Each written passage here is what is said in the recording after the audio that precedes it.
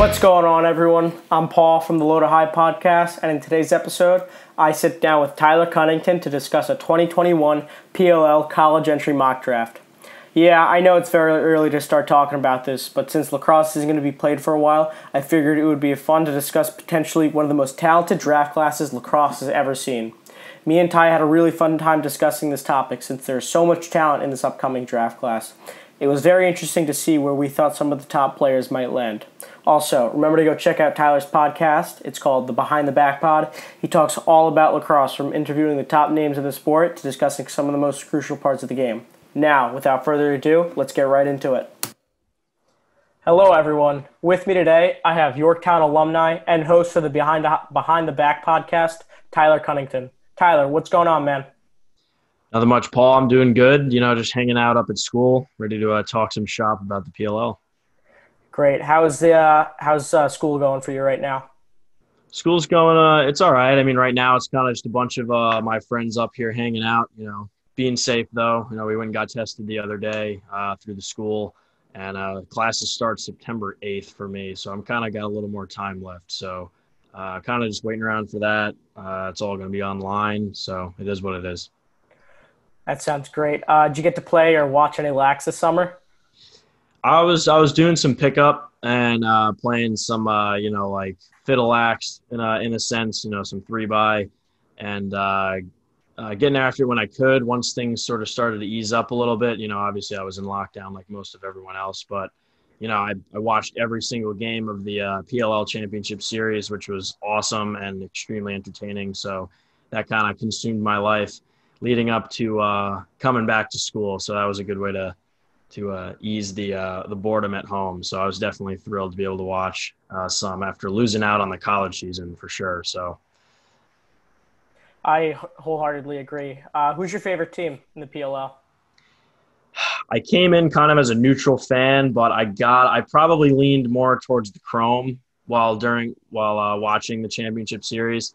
Um, probably more so because I have an alumni from my high school that plays on the Chrome, John Ranagan. He's a beauty.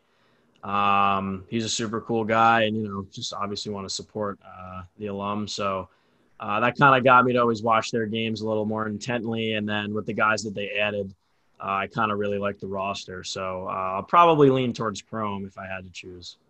It certainly had a really good year after being coming in last place last year. Yeah, yeah.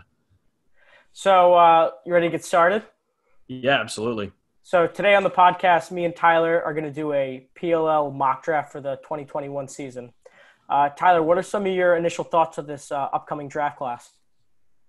You know, I think it, it's interesting because we were looking at this year's draft uh, to be probably one of the best, you know, and then because of COVID, it really threw a wrench into things with having that extra year put on the table for a lot of these players. So you saw some guys take that opportunity and other guys, you know, just running with it and going to, to play professionally, whether that was, you know, for the outdoor or the indoor game. Uh, so there's still plenty, plenty of, of really, uh, really good players in this year's draft, um, despite some guys going last uh, in this previous one in 2020. So I think there's there's no shortage of talent, honestly, at every position.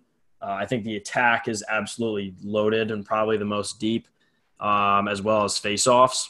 Um, I think it's going to be, um, you know, uh, you know, I probably think those stick out more than the others, but I think there's still a lot of good guys to go around in both the the outdoor leagues and then obviously also the NLL too.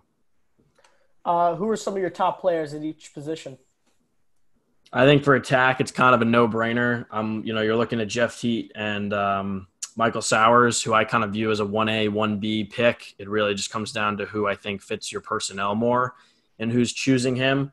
Uh, you know, for the for the PLL, that's the Atlas going number one overall. So you know, that's that's figuring out who you think works better.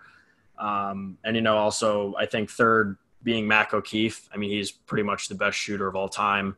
Um, and pretty much if they choose to run him out of the box or do whatever, with him, you know, that's just another guy. It feels like you just can't let him slip uh, by you because then once the season starts, he's going to be putting four in the back of the net on you every game. Um, but you know, beyond that, even you know, there's other guys you could argue like Chris Gray or even Charlie Bertrand, who's going to have a big year at uh, at Virginia, showcasing himself after being at Merrimack. for the last four years. Uh, and so there, there's a bunch of guys, but I would say those those three probably Teat, Sowers, and O'Keefe are my top three at attack. Midfield, I'd probably say Trimboli, uh, Jamie Trimboli from Cuse, Tre Leclaire, who you can argue is you know attack midi, really either one, and then I say Tucker Dordevic as well. Um, it sucks he didn't get another year after getting that injury, and we don't know if he'll take another year or not. But I'll put him there for now. I think Connor Kirst could make another argument too from Villanova. Um, when they were having a really good year, he was definitely an integral part of that.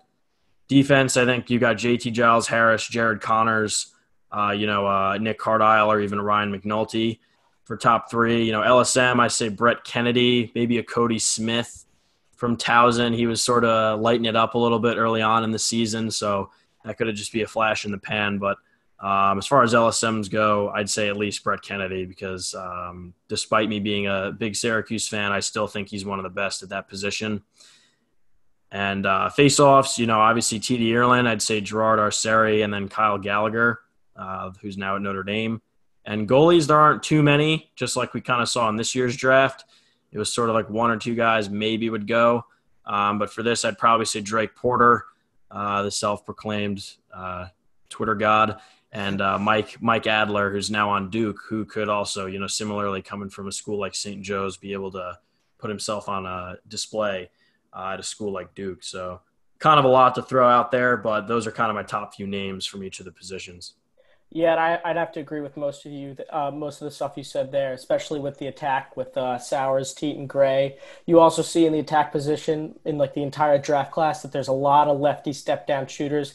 Uh, Jeff Teat, uh, Mac O'Keefe. You even got Logan, Logan Wisnauskas from Maryland, who's uh, proved to be like one of the best shooters in college lacrosse as well. Uh, going at the midfield, I put Jamie Trimboli as one of the best. He's super fast. He's super quick. He could really make the defense slide to him. Tre Leclaire, like you said before, I think a guy people might be sleeping on is uh, Nakeie Montgomery out of Duke. I think he's super quick, is super quick, super shifty. Um, he really hasn't. He didn't have such a productive year in 2020, but he did. He did show some light uh, here and there. Um, other guys that were notable at the midfield, uh, Jackson Morrill for coming out of, uh, he was at Yale, but then he transferred to uh, Denver. I think he could have a very big year. Connor Kirst, like you said, going to Rutgers. Um, other guys that might be a little bit, uh, might be more sleepers. Bubba Fairman out of Maryland. He's uh, he's an attack midi. He could run both ways. Um, I think something we should have touched on was uh, Tucker Dordevic, he actually did get that extra year year of eligibility. He was listed as a redshirt freshman, so he's got another mm-hmm. year under his belt.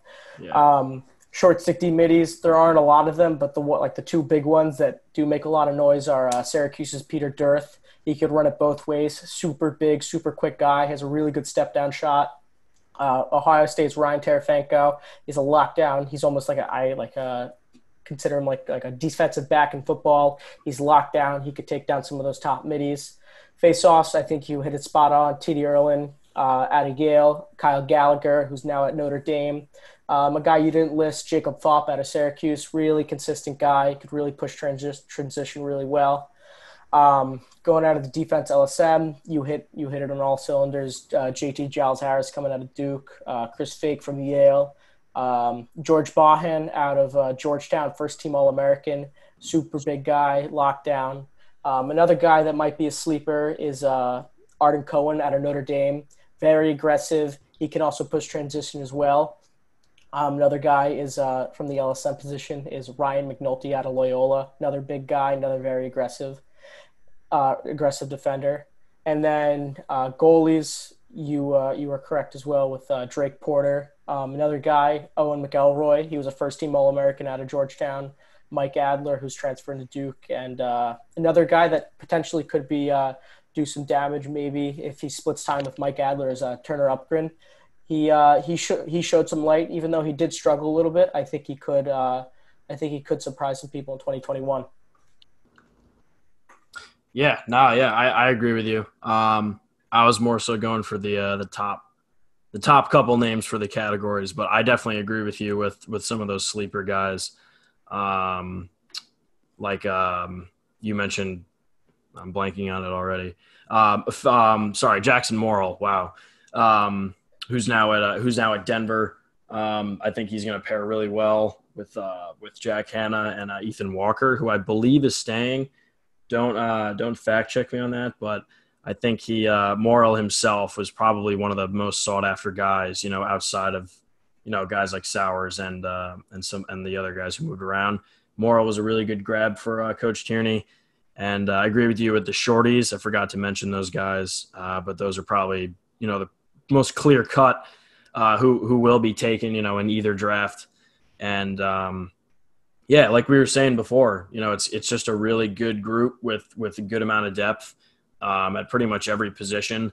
Um, LSM's got a couple, or it's probably a little sparse as well as goalies, but um, yeah, it's it's an exciting group, and it's really interesting to see how they'll fit into the teams who are who are looking to get them, especially when you're looking at teams trying to trade up or or things like that. So uh, it's a little it's a little whiles away, but it's always fun to speculate. Mm-hmm.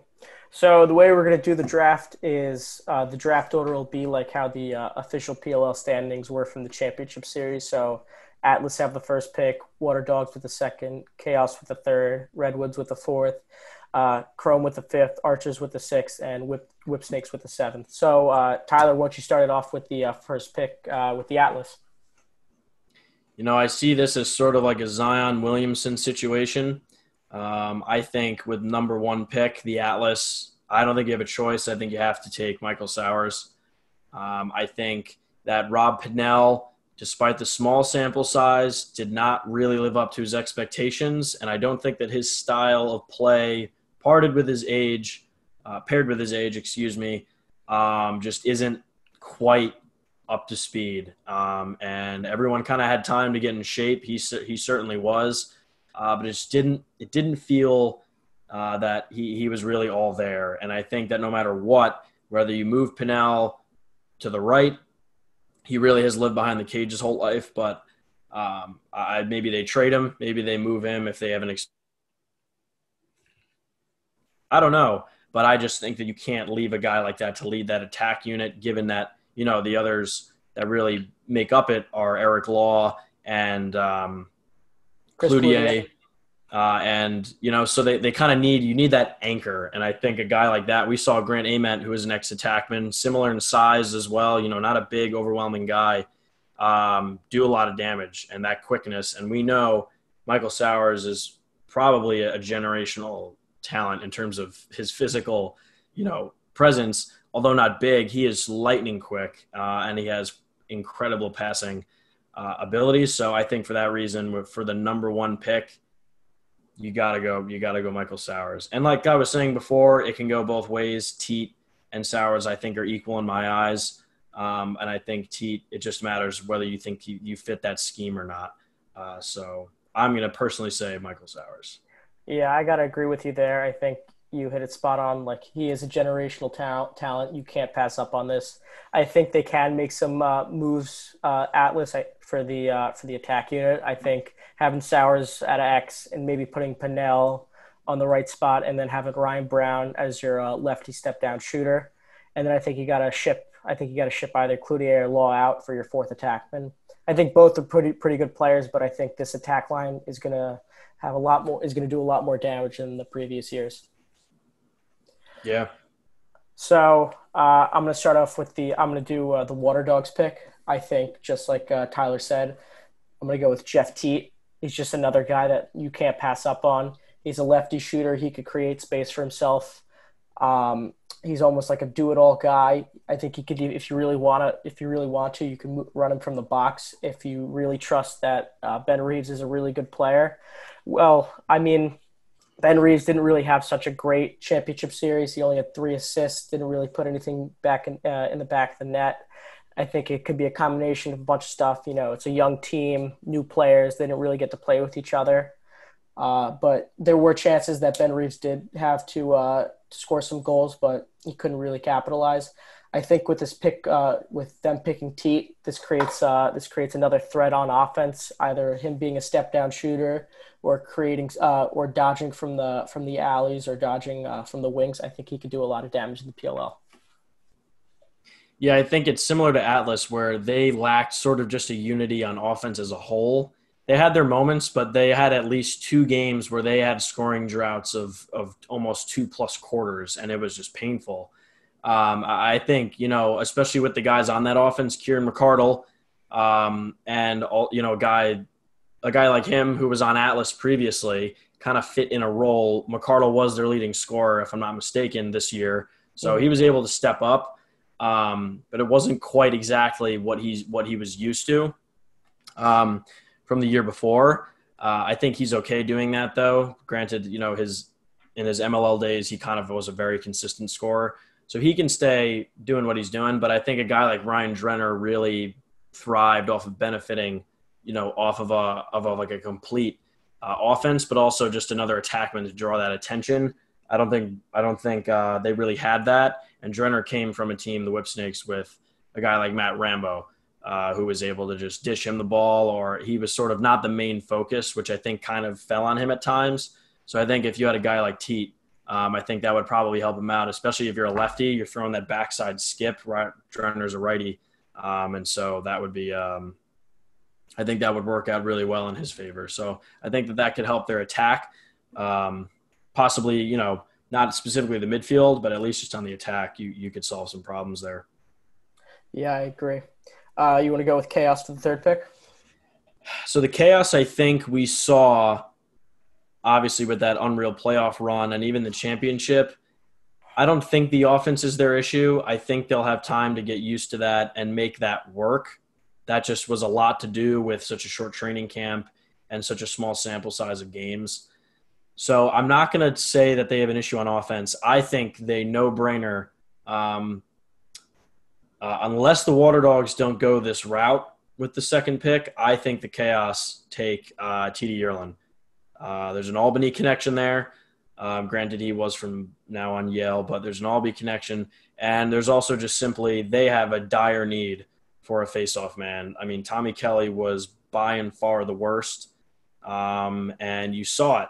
He did keep them in that championship game. He was making Nardella's life tough um, which is what he's known to be known to do. He wins the clamp a lot and he ties things up. I just think personally that would solve a lot of their issues if you're able to give that offense that they have a bunch of possessions. We saw what they could do by hanging what was it, uh, 18 goals on the Chrome. Um, so I think uh, uh, you know defensively, I think they were okay. I think they'll get they might get Johnny Surdick back, um, but you know it was obviously a loss with Brodie Merrill.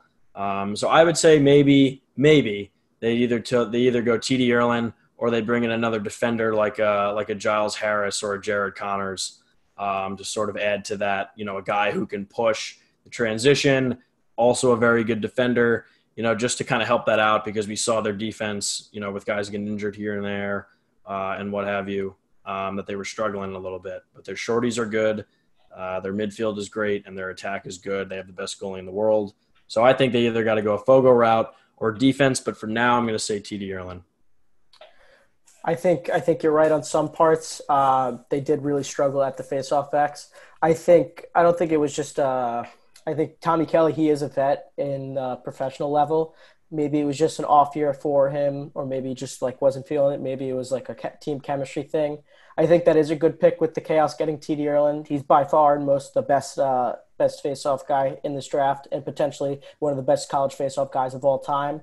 You know, they could use some de- uh, another like uh, top player on defense, like you said, J- JT Giles Harris or Jared Conners. But I think you hit it with uh, uh, with chaos go with TD Ierlan.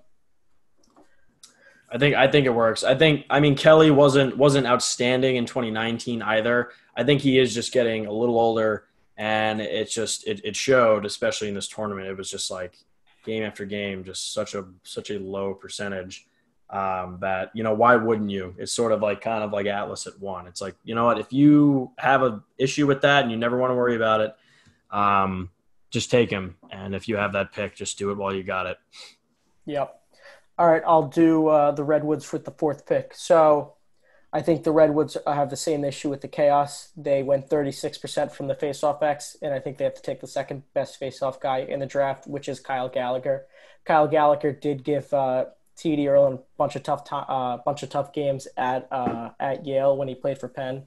He uh, even got TD's number a bunch of a bunch of games. He went over sixty percent against him.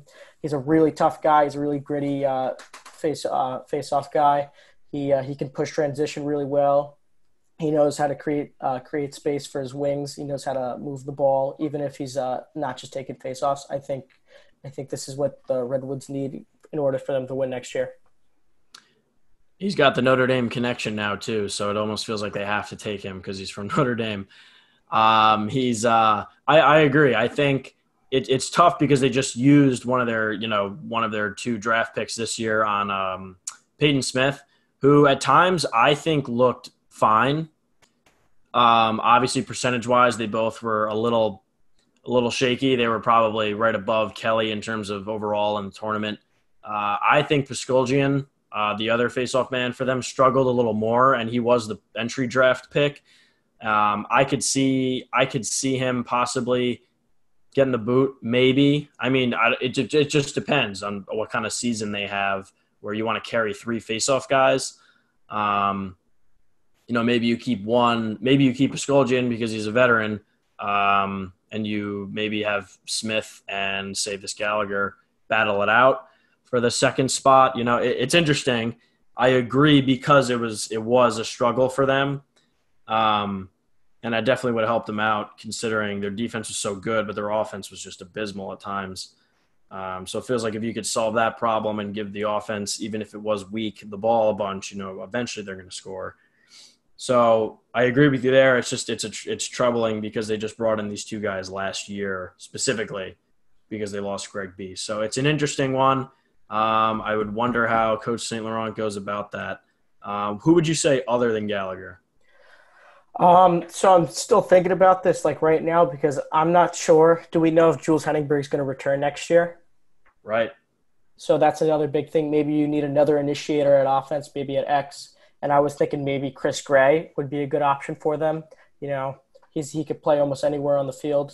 I think he could run through the box or uh, as an ex attackman. I think that's what they were really missing on offense. You know, I think Miles Jones took a little step back this year. He wasn't really as physical of a Dodger as he usually was, wasn't making his shots on the run. Um, I think Matt Kavanagh and Ryder Garnsey need that guy to help create space for them so they could take their step down shots because I think that's what Ryder Garnsey is best at, like those time room shots. Like uh, you could even see it last year. Like Jules Heningburg's like one of the best ex attackmen in the league, if not the best. And I think he's just so good at creating space and helping like the the dodge the, the slide come to him that just creates uh creates space for his uh for his teammates. Yeah, I think I think you could notice the absence of Heningburg. Um, you know, I think I I, I agree because I think at times Garnsey was trying to do too much. Kavanagh at Kavanagh's capable, but it was tough when he was being keyed in on uh, especially. I think their midfield needs the biggest bolstering. So I think I would, I personally would say they go with somebody like uh, Trimboli or you know a Morrill because honestly they had no production from their midfield. Sergio Perkovic was basically an outlier. Um, otherwise, you know, I, I don't, I was not impressed by Miles Jones. I didn't think he did great. I think Sergio Perkovic is really only good for shooting twos. And I don't even know who's it. Joe Walters was there other like you know, yeah. they they really really lacked a midfield. So I think at, at if not a face-off guy, they go with another midfielder, hoping they get Heningburg back with this uh, wild injury. Yeah, I agree. I was thinking maybe Mac O'Keefe, but like he's too much of a step down shooter, and they kind of already got that in Perkovic. They yeah. need a guy who could dodge like dodge from up top, like draw the slide, like help draw the slide for like Garnsey or Kavanagh to like get those yeah. inside shots and feeds. I agree. Um, all right, you want to do Chrome?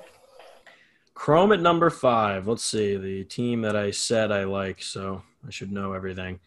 They've got. I think they solved their issues on defense. Um, I think they could possibly use some help at close. I don't know if Fletcher is going to come back again or Manley. I'm sorry.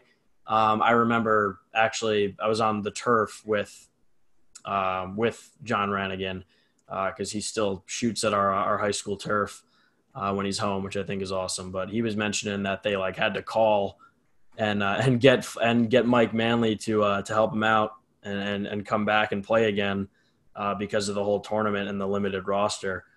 Um, so hopefully he's there again. I liked him, but you know, maybe they could use more depth defensively. I think they've got really good pulls between Reese Eddy and Eli Salama. They're both great. Um, their wing play, etc. Obviously, is an extension of that. I think Connor Farrell's fine. Um, I think Galloway, like you could maybe in the later rounds go a goalie. So I'm not going to say that first round by any means. Um, I think they could use. I think they could use somebody like, um, like maybe a Nick Cardile or a Chris Fake. Um, you know, it couldn't hurt to have another midfielder. Um, just with Ned Crotty getting a little older and and you want a little more depth because they kind of had a lot of two way guys as their second midline. You know, you had guys like Jesse King, who was great. Uh, Brendan Kavanaugh, who's like a, a little a spark plug, super fast feet, um, can let it fly, but he, he was kind of getting, uh, he didn't get to shoot a, a, ton, but he, he was a threat when he had a shorty on him. So I honestly really like a lot of their team. Um, I just think they possibly go for midfield. So, you know, kind of one of the, you know, similar to what I was arguing with, you know, the Redwoods possibly, or even the, uh, even the, um, or the Water Dogs, I think. You know, they could use um, kind of like a really key guy from the midfield, you know, to add to, you know, uh, a karate and to um, McIntosh as well. You know, somebody like maybe Curry, Brendan Curry, who's uh, super fast. You know, Trimboli, kind of just going with you know who is available in terms of best, you know, midfielders. Jack Kelly, Bubba Fairman, someone like that. Um, if they had, if they wanted to go defensive route, you know, uh, you know, I kind of said that earlier you know, sort of like a best available at that point, you know, depending on what other teams do. I don't think they need any more polls. You could maybe say a specific short stick defenseman, just because a lot of those teams have guys like that. Like you've got, you know, uh, Tyson Bell, you've got Pat Harbison, you know, DiNapoli, um, uh, who's on the, uh, you know, like Jack Neer, uh-huh. um, the Atlas have got, um, well, they did have DiNapoli, um, but you get the point. Yeah. I don't have to keep rambling, but you get it. So I think they could actually even go with somebody like Dearth, who just adds another two way aspect to it, but is a little more offensive minded. Um, uh, like that, or you know, just a just a plain old midfielder. Just um, I, I, I think overall it, it, couldn't hurt him to do that. Um, so yeah, that that's what I'm going to say. It, it was uh, working through that. I really do think a lot of their team is good. Um, it just came down to having a lot of new guys in a short amount of time, and they still had a lot of success. Um, if you want, you can argue me on uh, on getting a, another goalie um, to at least anticipate Galloway just going and staying with coaching eventually. Um, but I think that's for something down the road. So that's what I'll go with for for Chrome. I I'll say somebody like uh, like Terefenko or Jamie Trimboli or, or a best available midfielder all right, I see where you're coming from. So like it's almost like planning for the future a little bit, just to make sure you have like a new midfield coming in, like a new like healthy midfield come in. Like st- statistically, uh, Chrome were the wor- like Chrome was the worst defensively in caused turnovers, ground balls, and etc. I think they really do need like just another lockdown defender, whether it's whoever um, whether it's JT Giles Harris or Jared Conners, who are the top two defenders in the class, whichever one goes first, I think they're going to need to pick up one of those guys. But I do see, I do see where you're coming from. That potentially they could pick up sec- like a defensive guy in the second round, since there are a lot of defenders in this class that could help like make an impact on their team. So I agree and I disagree a little bit. Yeah, I was. I'm interested because now I'm looking at the stats now because I didn't think that they were the worst. I mean, it probably hurt them because they lost that last game big because Chrome just decided or Chaos decided to just absolutely go off. Um, I'm trying to look at the uh, defensive. They were. I'm pretty. No, the Whipsnakes had had less cause turnovers, but at the same time, you know, look how great def- how great their defense is. Cost turnovers isn't always a, a telltale sign. Um, they were right in the middle of the pack, I'd say, with ground balls. Um, but they did end up late giving up the most goals per game, which you were right about um, by just a little bit. Which I do think it came from that one um, that one game they got shelled. But um, that's a fair point. I did mention defense in that beginning uh, rambling, but um, I, I, I can I can agree with you there. I think we can we can uh, we can settle that you know they can kind of go either route. Okay. Um, but I like uh, that's fair. That is fair because because the more I think about it, their LSMs are sort of more. You know, they they added Bernhardt, but they kind of didn't really. I, am trying to even to think of who their third pull was. Um, so I don't hate that idea. I can agree with you. All right, I that's I think that's, I think it's a better fit for them. Yeah. So uh, I'll go with Archers. So I think Archers did have a good year, almost like they were pretty solid, like middle of the pack everywhere. Um, I think a big thing they did need was a face-off guy. I think who was it? Yeah. Uh, Stephen Kelly and um, what's his name? Brendan Fowler. They went like around like fifty percent at the X, so that could be a need for them. I think there's still a really good guy on the board that I think they should take before anyone else does, which is Mac O'Keefe. I think he's the best step down shooter in this class. I think what was it like 70 goals he had in 2019. I think you could run him either as a lefty step down uh, step down shooter, or if you want to run him from the box with Tom Schreiber, I think that'd make a really good duo. Especially since Tom Schreiber is such a good uh, such a good uh, dodger and passer. Same with Grant Ament, and you have the chemistry of Grant Ament and uh, Grant Ament and Mac O'Keefe back there. So I think that could make like a really good duo as well. Um, I know Will Manny is a really good player but maybe you could see him being shipped off to another team. And I think they should still keep Marcus Holman, even even if they do bring in Mac O'Keefe. I think he's a really good off ball player. And they also have Christian Mazzone, who's a really good player, who gets like those uh, what's it called, like goals, like after like uh, like rebound goals, which like which is a good thing to have, almost like a crease crease attackman.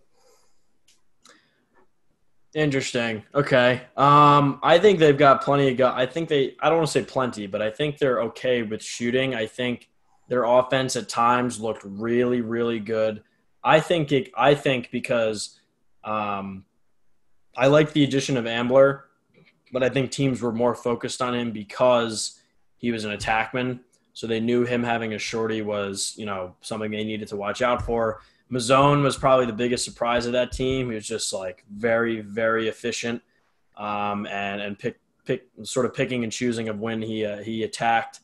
Uh, but I think kind of those guys like Ian MacKay and Josh Courier didn't quite perform how they how they felt. Maybe you know MacKay's a really good shooter. You saw that the few times he did put one in the back of the net.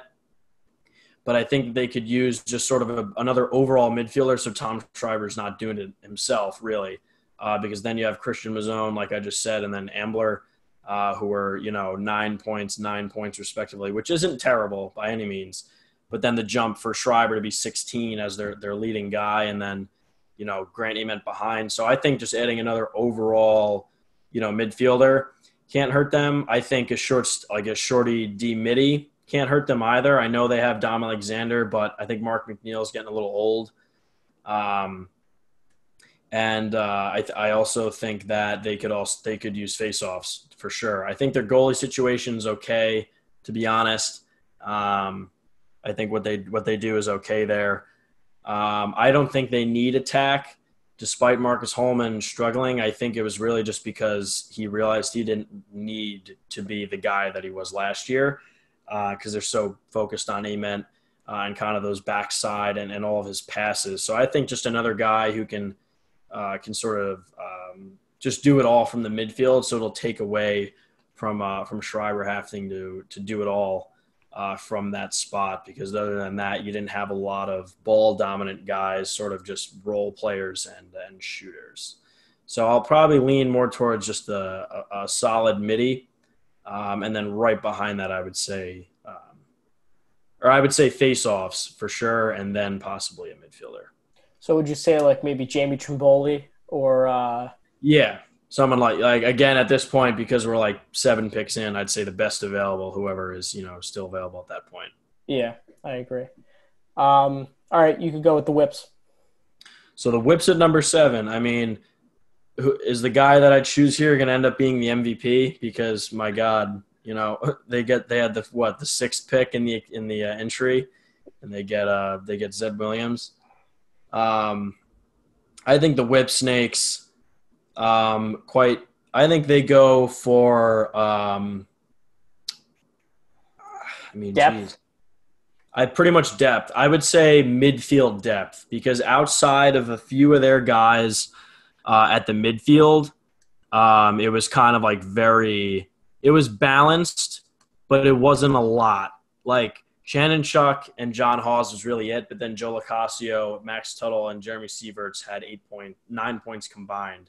So I think I, uh, John Haus is fantastic, and Chanenchuk sort of still brings that deep threat um, of shooting. So he's really valuable in that regard, but he rarely ever dodges. He's really uh, fights for his his shooting hand and just lets it rip, uh, or he they they find him naked, you know, backside, and he and he doesn't miss.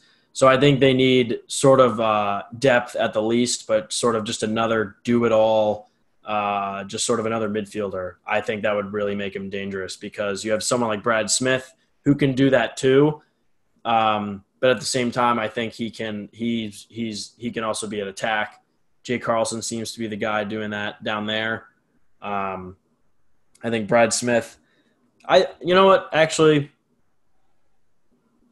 Hmm because Brad Smith had 15 points. I think he could. Uh, I think he can fill that midfield spot, but I still think depth there would be good. Um, because even then they have basically three attackmen. I don't think Dylan Maltz. Maybe I don't know if Dylan Maltz is going to be there again. Yeah, he, he didn't, didn't play during the championship series. He didn't play at all, so I don't know. I don't think you want to just leave your three attackmen by themselves with just Brad Smith, who's bouncing between both. Um, so Maybe I Tre think Leclaire like guy like yeah, that. Yeah, I, yeah, yeah. You know that that's that's interesting. And trying to put a name to it. Somebody like Leclaire, I think works. Um, you know, I, I think, you know, maybe even, um, you know, I, I would say that's probably actually probably the best fit. You know, someone like him, maybe Bubba Fairman, because there's that that whole Maryland connection. So he, he could probably slide into that and and uh, and fit in uh, pretty easily. Um, even um, uh, yeah, I guess by be, those guys being taken, I, am probably going to go with Tre Leclaire. I'll, I'll, I'll, agree with you. That that's probably who I was going to go with. Um, probably him or, or a Bubba Fairman. I think that's that's really all they need. I mean, their defense has no issues. They've got a the second best goalie, and they have an outstanding faceoff guy. Their wings, their poles, everything is fine. So it's really just a depth thing for you know now that they've repeated. I think that's not a far far off to say. Yeah, I'd have to agree with you there. I was just gonna. I put down like I didn't even put down a player on my sheet of paper. yeah, like I. That's why I, I was just, just wrote, rambling there. Like I don't really know. I just wrote midi, so because like yeah. I feel like that's all they need. Just like one guy who could dodge from like up top because they didn't really have that like person like besides maybe Brad Smith, but like you could see they struggled from up like especially during the uh, championship game. They struggled like trying to find that guy who could help dodge from up top if it's not like rambo getting locked down by jack Rowlett or uh, zed williams getting locked down by Jarrod Neumann. They just need a guy like whoever like let's say ryan uh, Tre Leclaire bubba fairman maybe even jack kelly just a guy that could help dodge from up top just to like get yeah. some of the get some of the pressure off of rambo and williams yeah, yeah, I agree with you. I think Haus can can do that for them, but not all the time. And then obviously, like I was saying about Chanenchuk, you know, doesn't really ever dodge. So I think they, I think it, it cannot hurt them to have another guy like that. So that's, uh, I think we're both on the same page there. So I think that's, I think that's where the whips will go at the at the bottom of the draft. Maybe you could like you could play like the uh, point like maybe they want to build build some more depth to their depth to their uh, defense. Have like a fifth uh, a fifth defender that could like if they could run two LSMs with Ehrhardt. Maybe you could see if JT Giles Harris or Jared Conners is still on the board. Maybe like a George Ballhan who could like help like if Ehrhardt ever gets tired or like one guy goes down because having just four guys and not really having any depth back there really could help, like especially if there's injury or fatigue or like someone's not playing well, just to have just another consistent guy come off the bench or run two LSMs if you really want to.